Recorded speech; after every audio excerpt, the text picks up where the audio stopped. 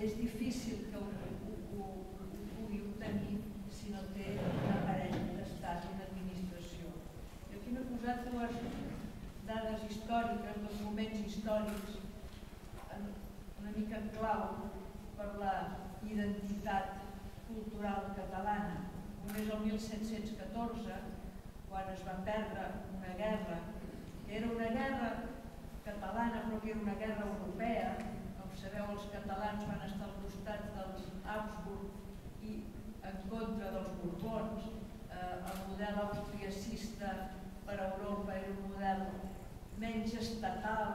menys eh, autoritari, menys centralitzat, com toca explicar. El fet és que van guanyar els Borbons i portem